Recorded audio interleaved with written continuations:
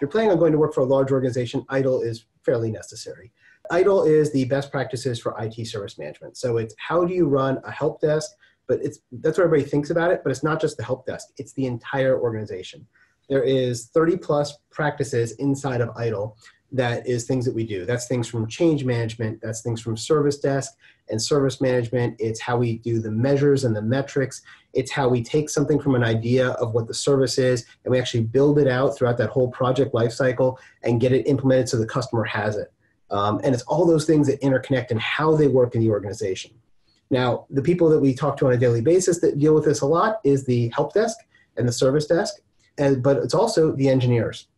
And so I see a lot of organizations, especially on the cybersecurity side, that are really looking for that ITIL background because it means that if you're working in the SOC and you know that there's a problem, you now can talk with the help desk and speak the same language and make sure that we can get the problem resolved, figure out what the incident was, and if there's multiple incidents, how they re- result into a problem, how that problem then goes into change management to ultimately get the patch that needs to be rolled out so we can fix the problem.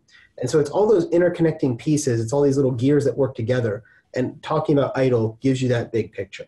Over if you work in Europe, uh, ITIL is pretty much mandatory in most organizations there. Uh, in the UK, it's kind of the mandatory cert. You must have ITIL or we're not going to even hire you. Uh, here in the US, there's a lot of organizations that require it, um, not necessarily to get hired, but they will require it within you know six months of you being hired. I actually teach ITIL 4 Foundations. Uh, so this is one of the courses I do teach, one of my more popular courses actually.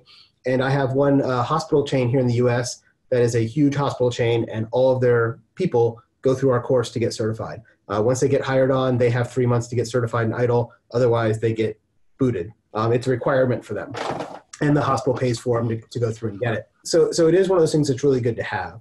If you work for the DoD or you work in one of the mil- either in the military or as a contractor or a civilian for the military here in the U.S., they have the 8570 requirements, which says which certifications you have to have. And I see right behind your shoulder, you got Security Plus there, the one that's most common, right? That's about 70% of the jobs. You have to have your Security Plus.